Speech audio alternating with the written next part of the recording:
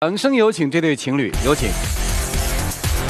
小崔，二十三岁，来自山东，摄像助理，有请小崔，有请。小江，二十四岁，来自山东，学生，有请小江，有请。欢迎两位啊！嗯，恋爱多久了？嗯，将近一年了。将近一年了。嗯，对啊。怎么认识的呀？呃，工作吧，因为他在一家那个电商公司上班，然后我正好就是去兼职嘛，然后去了几次，就这样认识了。哦，兼职干嘛呀？就是拍拍摄拍东西。哦，模特。嗯。哦，你是摄助。对。哦，就这么认识了。对，我一开始跟他谈的挺投机的啊，他也挺积极向上啊，然后挺有活力的一个女孩吧啊，然后我就。挺喜欢他的小伙子，什么吸引了你的？就是刚开始的时候吧，他对我非常好，就让我感觉到他很踏实。虽然挣不了多少钱吧，就是让我很有安全感啊。也做过一些让我感动的事情，比如说。嗯，因为他就白天上班嘛，然后只有嗯下班了才能陪我。然后我宿舍门是十点半关门，他每次都是下班之后来陪我，我自己学习，他就在旁边看着我。就是十点的时候他才回去。然后因为他也呃赚不了多少钱，他又不可能就是每天晚上打车回去，因为也挺远的。啊。然后我都不知道他自己都是骑着共享单车那种，骑着车自己回去，大晚上的。骑多远啊？每天？十公里吧，得坚持了多久啊？坚持两三个月，因为那段时间 他学习挺紧张的啊，然后我就，呃，要陪他很晚学习，嗯，嗯，就所以说就那两个月的时间啊，我陪他。后来我们俩，就是说买有车子了，有自己的车子了，所以说就啥车子？电动车。哦，电动车啊，你买了个电动车？对啊，这么一说还挺浪漫是吧？也算美好的回忆。对不对？刚开始吧。显然这个话是，但是后来我们那个，所以今天咱们就说说后来，好不好？后来我觉得可能就是两个人待时间长了吧，就是矛盾也都出来了啊。嗯，他就是做事很不靠谱，让我觉得。哎，从安全到不靠谱，怎么不靠谱了呢？做的什么事儿啊？就是他在做一件事的时候，不会把这件事情考虑周到。哦。就有一次嘛，就是我去医院，我们那边的省医院，因为是在临市嘛，我对那边也不熟悉。他提前一个周都说好了，说答应陪我去。结果呢，他等到了前一天的下午才请的假，人家直接说不准。然后那天就我自己去的，因为临近双十一了嘛，我们那边电商公司就很忙。对，我们老板也是来回忙前忙后，我也没机会给他说。突然临近那几天嘛，然后就突然来了个。呃，大客户，然后就突然就把我安排到那一个，呃，客户那个地方啊，然后所以说，我后来也给他说了，然后他就一直不听我这个解释。不是说这一件事，好吧，你你忙吧，那行，我自己去了。我是说类似的事情，他就是这个事情的方式就不对，比如说。我过生日吧，就是我们两个呃在一起的，我过的第一个生日，我俩一块过的第一个生日。然后我就希望可以有纪念意义一点。我觉得，因为他也赚不了太多钱，就是也，我也不希望他给我买什么贵重礼物。然后我就想要一个自己喜欢的生日蛋糕。我在很久之前，很久很久之前，我就把。生日蛋糕的图片发给他了，然后过了很一一段时间嘛，我觉得我怕忘，我又给他发了一遍。嗯。然后呢，他在我过生日的前一天才去订的，人家直接说订不了，你这种订做的你得提前一个周订，就是我们的材料，就是有些材料我们这没有，得现买，所以那个蛋糕就完全不是我想要的那种蛋糕。我以前也没订过蛋糕，这这也是我第一次给别人过生日订蛋糕什么之类的。而他那蛋糕我看着，一个六寸蛋糕也没什么。然后去了以后，人家说这些材料他们没有嘛，我还专门去了一个比较稍微好一点的那些蛋糕店去给他订了个蛋糕，然后人家说没有，呃，所以做出来的蛋糕不是他，他不很喜欢。但我觉着和他想的那种差不多，也没有太大的区别。他永远都觉得，哎，他觉得应该没有事情，应该没事。我觉得做这件事，哎，我应该怎么怎么样，他就永远会这样，他不会去把这些事情考虑周到了。包括我们在一起约会也是，我不知道干什么，出去了之后问他，哎，咱去哪儿呀？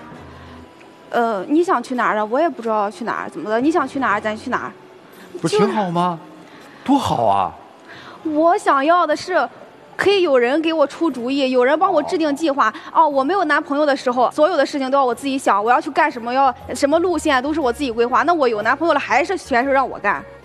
是不是你女朋友有点性格，脾气还有些大？对，有没有？对，怕她吗？嗯，我挺怕她生气的，但是，但是生气。嗯，但是平时也没觉得啥。啊，没觉得。有时候闹脾气嘛，我觉得。呃，也应该，但是，但是应该，嗯，这毕竟小女生嘛，对不对？闹个脾气也应该嘛，对不对？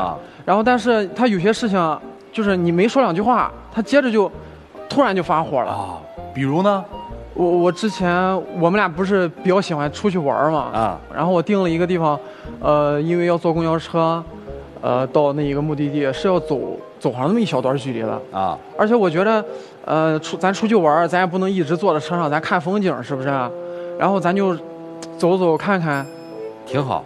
然后呃，他他出门之前嘛，我就告诉他，咱咱别穿高跟鞋了，咱穿高跟鞋挺累的。咱毕竟两个人出去，好不容易出去一次，我我上班地方是单休嘛，好不容易跟他出去一次，咱就溜溜逛逛，是不是？嗯。咱吃点想吃的，看点想看的。嗯，走了一半吧，也就，然后他就很累很累，很着急，很上火，就说。啊，到哪儿了什么的？我说快了吧，那本来也没多远，是不是？然后他就特别发火。听完我这句话，特别着急。特别发火？没必要生这个。你就说说的很随意，就是那种。然后他他怎么生气？就说了一句，还是说大发雷霆？还是说他就我要往回走？他就对我凶嘛，就说什么怎么还不到啊，什么之类的嘛，很累嘛。那我就觉得没没必要，对不对？啊。这而且。我觉得明明就是说，你说你让我抱着，我也可以抱着你；你要让我背着你，我也可以背着你，对不对？好啊啊！然后咱没必要生气，咱好好讲讲出来以后，我能做，咱我就做出来了嘛，这也不是什么难事儿啊。那为什么要生气呢？对不对？而且距离也没多远。我没有太生气。再说了，你又不是不知道，我就算气，我也就是那小那一小会儿来得快，去得也快。我就那一阵儿，我再说我我也没怎么生气，好吗？而且我我之前给呃，就是对于他这个事儿嘛，我给他说了很多次啊。然后他他就是，嗯，我这件事做出来以后，他不先问我这个原因是不是这样，然后他接着就会给我生气。比如有一次就是我回老家了嘛，啊，我答应他第二天回来我要陪他嘛，啊，然后因为中午刚回来以后，我看家挺乱，我收拾收拾，然后洗洗衣服什么的，自己一个人在住，收拾收拾，他就问我什么时候来啊？我说我六点了，他就生气了给我。我想，哎，你那天中午就回来了，你那天休班，你为什么不提前来找我啊？你不会就就你就非得挨到就是平时咱见面的那个时间才来找我吗？因为他没有一开始就跟跟我说，如果你一开跟我说，哦，我我在家休收拾收拾，因为好不容易休个班，洗洗衣服什么的，我就理解你了呀。但是你什么都不说，呃，直接就说啊，我六点再去吧。那中中间还有那么一一一个大下午，我想你干嘛去啊？你都不理我，你好不容易休个班，不提前来找我，你这件事你就你自己提前解释不就完事儿了吗？我自己觉着能就是说咱俩好好商量事情，没必要就是说生气，对不对？就是他老生气是吧？对。年轻女孩是气性大一些。试过以后，我就觉得，哎，干嘛要生气？这根本就屁大点事儿，为什么要生气呢？但是当时他有时候的做法就是让我很很气愤，我就觉得可能只有我生气才会引起他的重视，他下次才会改进。这个男生你相处了一年之后，再回过头去看，你再给他评价一下。一开始评价的是说，我觉得这个男生虽然挣钱不多，但是踏实安全。这一年相处下来，有什么变化吗？踏实还是让我感觉很踏实，他可能就是脾气好，脾气相对来说比我强，我们可以互补一下啊。然后就是他的处事方式，我就觉得好多事。我们要出去吃饭了，我说咱吃什么呀？不知道啊，你想吃什么？就是好不容易就一天的时间，我俩全在选择，全在啊，咱干嘛去？吃完饭咱干嘛去？我也不知道。那我俩就瞎溜达，溜达的怪累的。然后这一天就过去了，哎，发现什么都没干。就我的意思就是说，啊，我好不容易休次班，我跟你出去，我是想跟你去你想去的地方，并不是哎，我说准啊我去哪儿，然后呢，你不喜欢，你到时候肯定也会不开心，对不对？啊。所以说，我就呃两个人出去，而且我觉着，嗯，就是两个人在一起最重要。那去哪儿？我觉着其实，哎，一个城市就那样，对吧？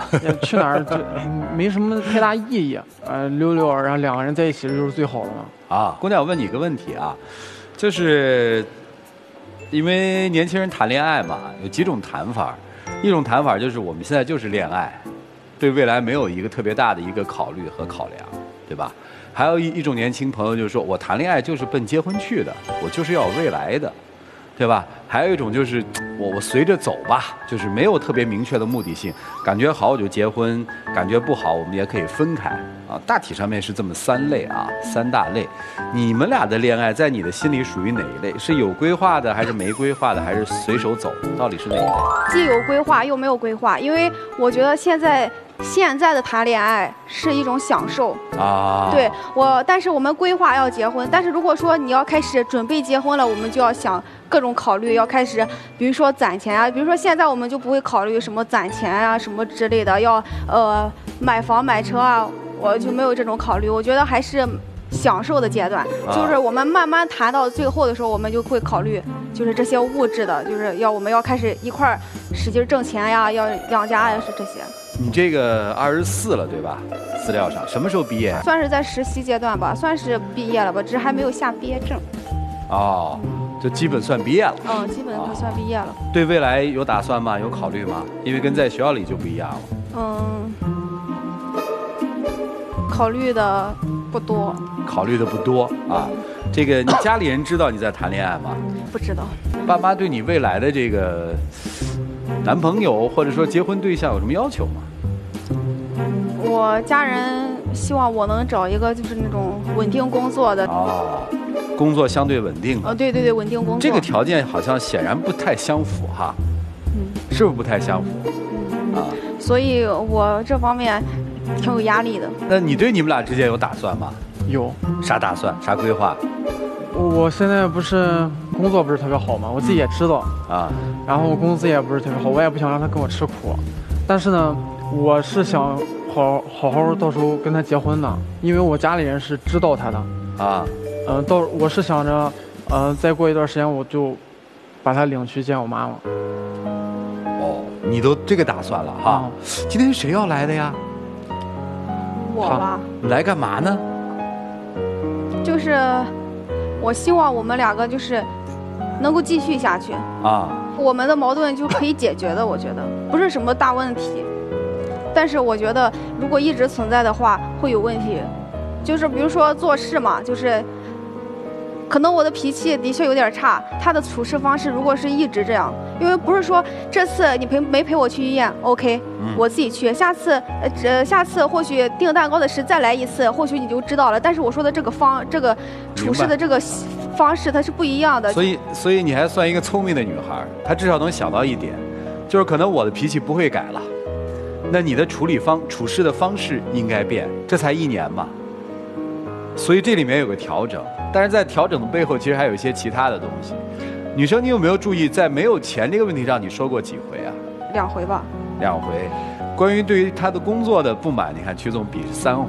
你看，关于他工作的问题，你对他未来的工作有要求吗？我说了，我说现在谈恋爱，我在一个，我知道你在享受期，这是你说的。对我，所以我没有太大的要求，就是我我还没有想过要要求他的工作怎么之类的。当然，我希望他有一个好工作，最起码。所以这个这个好工作的标准是什么？就是能让我的父母接受。啊。在我再没有要求过什么，没想过。这个。其实我们简单的看起来，好像是女生对于男生处理问题的这个方式的不满。这个不满的背后，其实还藏着一些东西呢。啊，男生其实是有想法的，对吧？嗯。比女生更务实一些。他刚才那个话，你以前知道吗？说不久我想带他去见我妈妈，跟你聊过吗？嗯，他之前跟我聊过这个。你怎么答的呢？我挺想去的，因为我说实话我。挺喜欢他的，他就让我真的让我觉得很踏实。啊，我觉得，就算我发脾气，他也不会离开我。嗯嗯，你要一辈子这么跟跟他发脾气，你觉得他一辈子能忍吗？嗯，我觉得我可以适当收敛一下，但是我们来这个节目，我就希望我们两个都能互相有改进。其实，呃，我有恐慌感，就是因为我有朋友，他们都在一起好几年了，怎么怎么的，都说，哎，你们现在都还在热恋期，说你们以后的事情问题会出现更多，就算你们两个互相喜欢，也会出现更多问题。所以我听他们这么一说，我就会有恐慌感，觉得啊，万一咱下去两年之后还这样吗？然后他总会说，哎，没事的，你还这样，怎么怎么的，你不用担心别的，怎么怎么。但是我内心会有恐慌感。有人追你吗？有，但是跟他在一起之前就已经杜绝了，因为所有人都知道我有他。哦，呃，以前那些没看上的原因是什么呀？就喜欢上他了。以前的是让我感觉到最重要一点，就是让我感觉到没安全感。哦，所以他的安全感来自于什么呢？我可以在他面前，我可以就释放自己，就是我内心的各种我都可以出来。但是在其他们就是之前追过我的那些人当中，我不敢这样。为啥呢？因为他让我一看，我就觉得我不敢释放，就是把我所有的我都给你看。所以这个背后到底是因为爱，是因为男生的踏实，还是因为别的？我们让老师们好好帮你们分析分析。你们这一年的这个交往的这个经历，看看这段恋情到底应该注意一些什么？我们一起进入丘比特问卷。来，包红兄啊，谈了一年了，嗯，踏实还在，安全感还在。这一个男孩因为爱你，他在努力的改变自己。前两三个月对他来说，他已经做出了很大的努力，只不过在生活当中，你认为？哎，他不上心，甚至做的让你不满意，这有一个过程。我们关键是看这个男孩爱不爱你，另外他愿不愿意为你去做出改变。我能看出他已经在努力的自己做出这种改变，所以你应该给他一个机会。这个世界上没有十全十美的人，特别才二十三岁的步入职场不久的一个男生，可能。他这样的一个工作、生活、爱情的这样的一种平衡，让我们大家去帮助他，特别是他最爱的人，你们两个人共同去努力，我想以后不会成为大的问题。当然，你让他改变这样的一种处事、对工作、生活的处事的这样的一种模式也很难，但是可以平衡，做不到完美，我们尽量做到你满意。我想。这你也需要努力。好，谢谢。谢谢。来，苏老师。呃，小江哈，其实我们很多人对于爱情都是一边嫌弃着，一边又享受着。我觉得你就是这种状态。其实，在你心里，你可能对这个男人是不满意的。你有很多地方，你都会觉得他达不到你对于未来另一半的要求。但是，你为什么愿意跟他在一块儿呢？你就是在这个男人面前，你才可以做公主嘛。他愿意捧着你啊，你可以挑他的毛病，而且他全部都可以接受。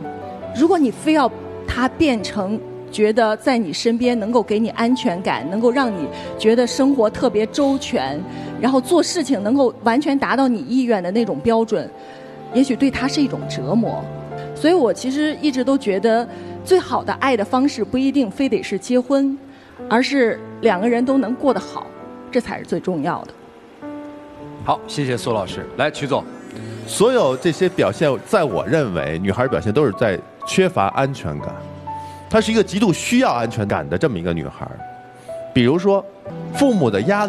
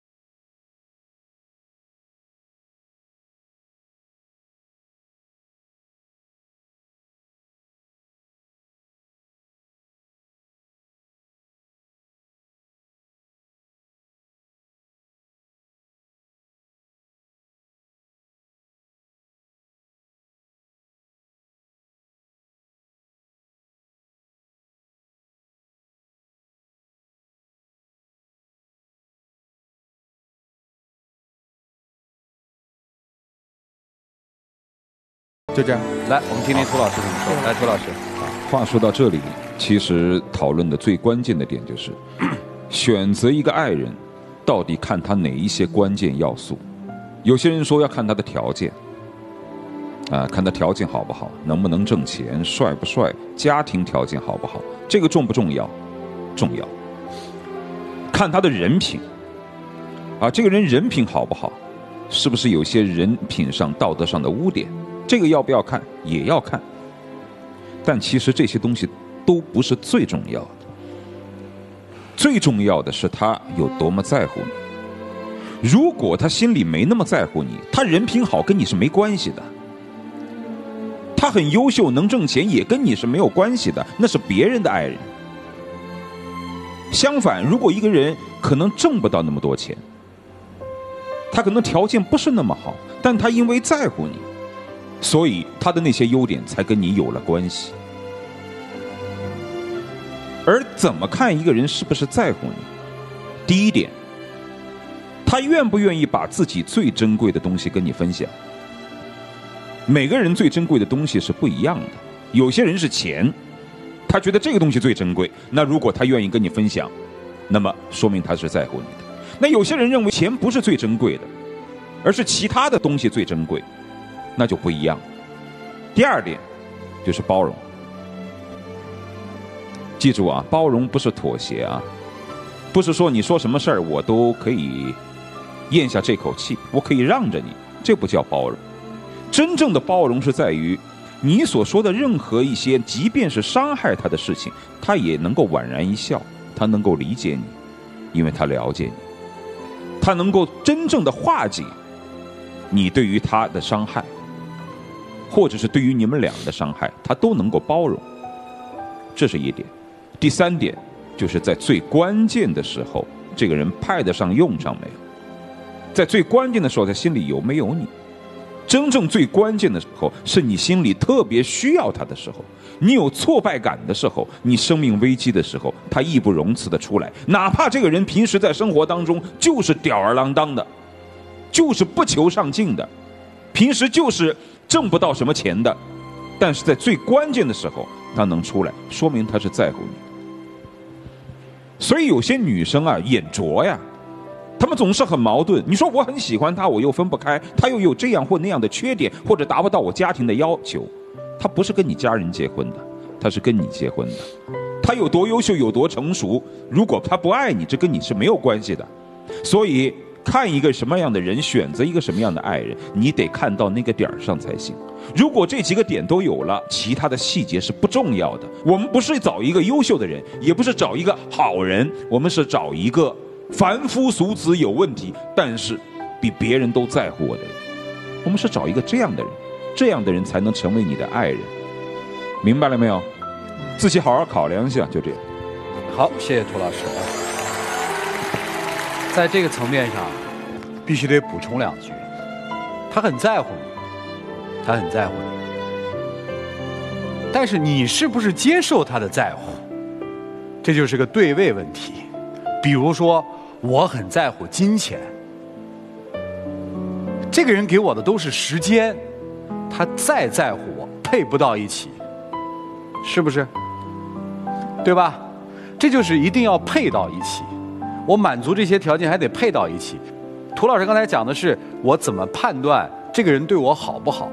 翻回头是那对你好的人很多呀，很多人都追求你啊，在一群追求你的人当中。有三个人都达到了，同时达到这三个条件，你选哪一个呢？所以在我看来，谈恋爱一定是独立的人，用自己喜欢的方式去找那个自己合适的人。如果你真的判断出来，像涂老师说的，他是在乎你的，下一个要判断的是你在不在乎他给你的这份东西，这是最重要的。如果这个东西碰不到一起，他给你的越多，你会越反感。行了，你慢慢生活，你去体会吧。我平时确实有些事做的不好，不够成熟嘛。毕竟身为一个男生，应该懂得去照顾你。嗯，有时候做的确实挺不对的。然后，但是，呃，我也想把最好的东西给你。然后，我对自己的工作也不满意。可是我愿意去努力。啊，我觉得我可能真的太任性了吧，但是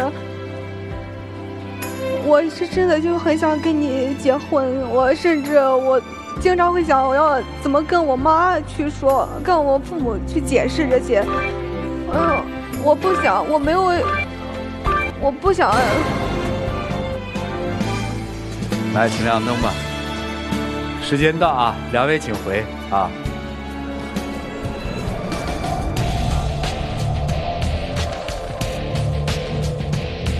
来，请关门，请开门。